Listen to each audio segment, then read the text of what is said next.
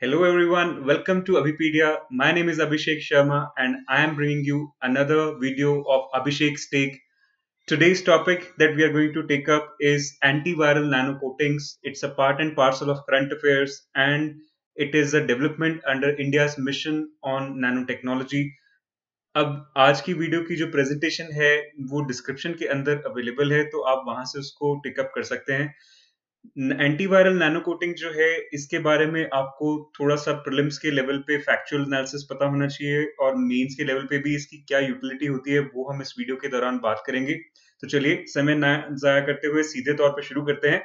अब antiviral nano coatings जो है, इनकी जो बात शुरू हुई है, उसका न्यूज़ के अंदर ये आया है कि department of science and technology has approved the use of antiviral nano coatings on anti covid 19 mask basically जो N95 मास्क हैं या जो ट्रिपल लेयर मास्क हैं, उनके लिए इसको अप्रूव किया गया है। और ये इंडिया के mission on nano science and technology का पार्ट एंड पार्सल है, जिसको हम नैनो मिशन भी बोलते हैं। अब प्रिलिम्स के लिए इस पर्टिकुलर न्यूज़ में से हमें क्या इंपॉर्टेंट है? अब एंटीवायरल नैनो कोटिंग बेसिकली जो है it has been developed by using N9 blue silver which will be modified from the nano complexes with zinc. So basically N9 blue silk silver और zinc तो silver zinc का एक complex बनाया गया है और it is proven to be almost 100% effective against multiple kinds of uh, you know antiviral uh, and it can be an antibacterial and it can be antifungal and even a self cleaning agent तो इस तरह से इसकी utility है broad spectrum में इसकी utility होने की वजह से इसको पर्सनल प्रोटेक्टिव इक्विपमेंट का पार्ट एंड पार्सल बनाने की अब बात हो रही है। So this is the another potent weapon that India's uh, medical will be able to to in in battle against against covid COVID-19. चलिए इसके बारे में कुछ और फैक्ट्स भी हैं। तो जो N9 ब्लू सिल्वर है it is a highly potent anti microbial agent और इसको डेवलप किया है S M I T research lab में जो कि आईआईटी दिल्ली का पार्ट है। अब सिल्वर के बारे में भी आपको पता है, शुरू से ही जितनी भी आप अगर ट्रॉपिकल क्रीम्स भी देखते हैं, जो स्किन के लिए यूज़ होती हैं, उसमें ज़्यादातर सिल्वर की यूटिलिटी होती है because of it's antibacterial antiviral anti fungal kind of nature it's a broad spectrum kind of a medicine that we use against antimicrobial activity. तो सिल्वर जिंक एलॉय इसमें यूज़ किया गया है और नैनो स्केल पे इसकी यूटिलिटी होती है, इसीलिए ये और भी ज़्यादा पोटेंट होता है। बेसिकली हम जितना ज़्यादा इसको स्केल वाइज तोड़ते चले जाते हैं, छोटा बनाते जाते हैं, उतने ज़्यादा जो सेलुलर पार्टिकल्स हैं वो एक्टिवेट होते हैं। अब ये काम कैसे करता है वो देखने की बात है। अब देखिए नेक्स्ट स्लाइड पे चलते हैं। So how it works basically इसके तीन एस्पेक्ट्स हैं जिसके थ्रू ये काम करता है। पहला it immobilizes the bacteria by depleting the oxygen levels available to the bacteria and nearby areas basically आपको याद है silver plus oxygen create silver oxide so that is what happens okay दूसरा it ruptures the bacterial cell membrane तो उसकी वजह से भी ultimately bacteria है या वायरस है, वो अपने आप खत्म हो जाता है। तीसरा it destroys the reproductive receptors upon the cell membrane of the virus or of the bacteria. So this is how it basically deals with the bacteria. Any kind of uh, you know antimicrobial activity that's how it has to deal with. तो three steps जो हैं इसके ये आपको pre के paper के लिए याद रखने हैं सीधे तौर पे आपको पूछा जा सकता है सिल्वर का एक्शन या फिर इस N9 प्योर सिल्वर का जिंक लॉय जो है उसको जो पास किया गया है मिशन का पार्ट बना के भी प्रिलिम्स में पूछा जा सकता है ठीक?